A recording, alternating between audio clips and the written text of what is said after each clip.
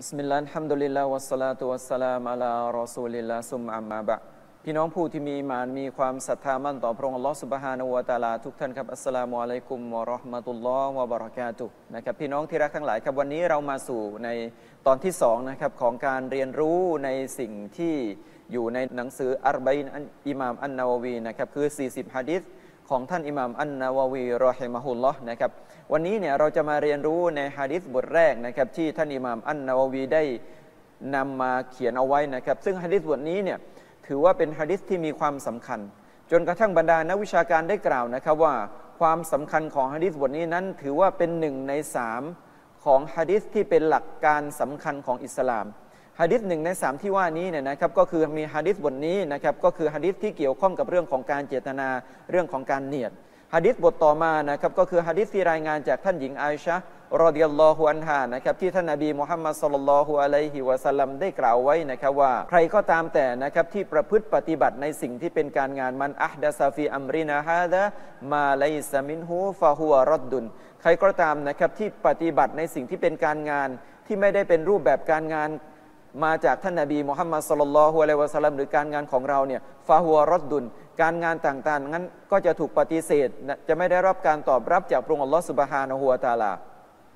และอีกฮะดิษบทหนึ่งนะครับก็คือฮะดิษที่ท่านนาบีมุฮัมมัดสุลลัลอฮุอะลัยฮิวะสัลลัมได้กล่าวไว้นะครับว่าอินนัลอัลฮาลาลูบายินุนวัลฮารอมูบายินุนแท้จริงนะครับสิ่งที่ฮาลาลสิ่งที่อนุมัติเนี่ยเป็นสิ่งที่มีความชัดเจน และสิ่งที่ต้องห้ามก็ถือว่าเป็นสิ่งที่มีความชัดเจน ทั้งสามฮะดิษเหล่านี้นะครับถือว่าเป็นฮะดิษที่มีความสำคัญ ถือว่าเป็นแม่บทนะครับของหลักการต่างๆ ของศาสนาอิสลาม เรามาเรียนรู้นะครับในฮะดิษบทนี้กันเลยนะครับฮะดิษบทนี้เนี่ยนะครับท่านอิหม่ามอันนาววีรอฮิมะฮุลลอฮ์ได้กล่าวนะครับว่าอันอามีรินมุมีนีนะคนที่มีพี่น้องที่มีหนังสือนะครับสามารถที่จะนำหนังสือเนี่ยนะมามาอ่านพร้อม ๆ กับการอธิบายได้เลยนะครับ อันอามีรินมุมินีนะอบีฮับซินนะครับจากคนที่เป็นผู้นำของบรรดาศรัทธาชน ผู้ที่ได้รับการ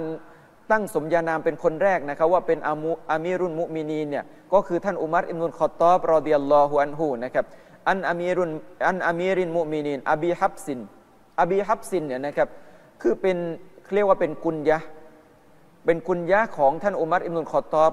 คำว่า أبي حفص เนี่ยเป็นสิ่งที่บรรดานักวิชาการเนี่ยนะครับได้ให้ให้คำอธิบายเอาไว้นะครับ บางท่านก็กล่าวนะครับ ว่า أبي حفص เนี่ยเป็นคำที่หมายถึงว่าท่านเป็นบิดาของท่านหญิงฮับซอนะครับเพียงแต่มีการตัดตัว تاء ออกเรียกว่าการ ترخيم นะครับในภาษาอาหรับเนี่ยตรงนี้ก็เลยถูกเรียกว่าอบีฮับซินนักวิชาการมางท่านบอกว่าไม่ใช่อบีฮับซินเนี่ยอันเนื่องมาจากว่า ลูกชายคนโตของท่านอุมัรอิบนุลคอตตอบเนี่ยชื่อว่าฮับส์แต่ลูกชายคนนี้เนี่ยเสียชีวิตไปก่อน ดังนั้นท่านจึงถูกตั้งชื่อว่าอบีฮับซิน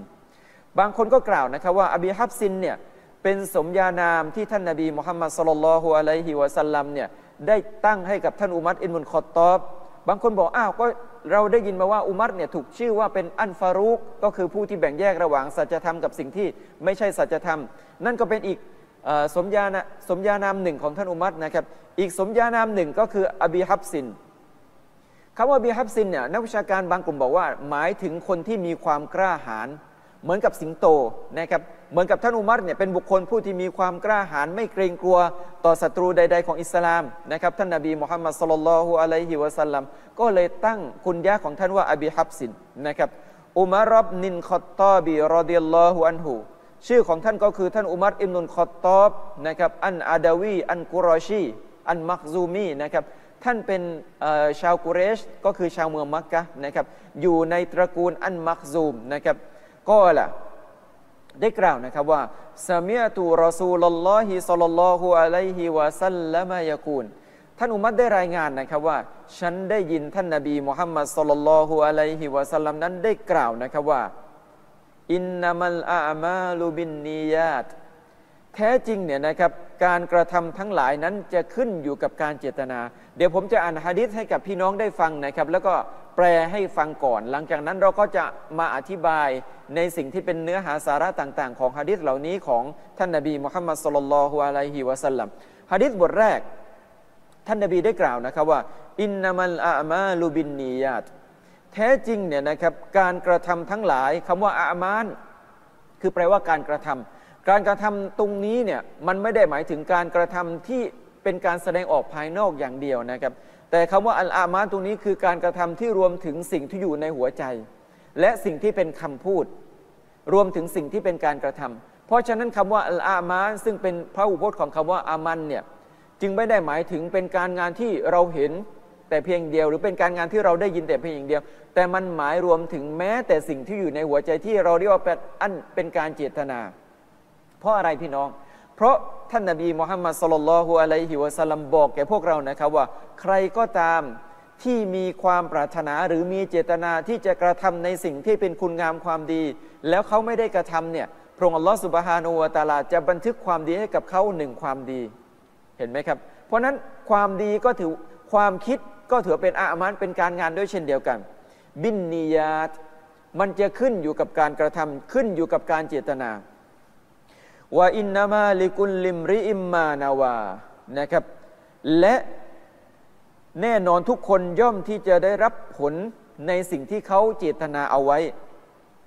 ฟามังกานัทิจรตุฮูอิลลอฮิวะรอซูลิฮิใครก็ตามแต่นะครับ ที่การอพยพของเขาเนี่ย เป็นการอพยพเพื่อพระองค์อัลลอฮฺสุบฮานะฮัวตาลาความหมายของคำว่าอพยพตรงนี้ก็คือการอพยพจากเมืองมักกะไปสู่เมืองมาดีนะ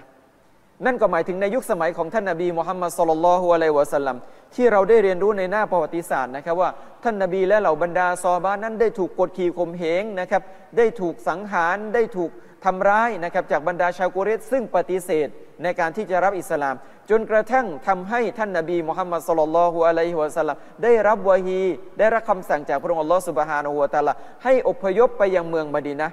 ซึ่งการอพยพครั้งนี้เนี่ยนะครับเกิดขึ้นในปีที่ 13 ของการเผยแพร่ศาสนาอิสลามนะครับเพราะนั้นเหตุการณ์เหล่านี้เนี่ยเกิดขึ้นในปีที่ 13 เราเรียกปีแรกที่ท่านนาบีอพยพว่าเป็นปีที่หนึ่งของการฮิจรัพ้นคำว่าฮิจรัคือการอพยพ จากเมืองมักจากเมืองมักกะไปสู่เมืองมดีนะท่านนบีกล่าวนะครับว่าฟามังกานัตฮิจรอตุฮูอิลลอฮิวะรอซูลิฮิใครก็ตามแต่ ผู้ศรัทธาคนใดก็ตามแต่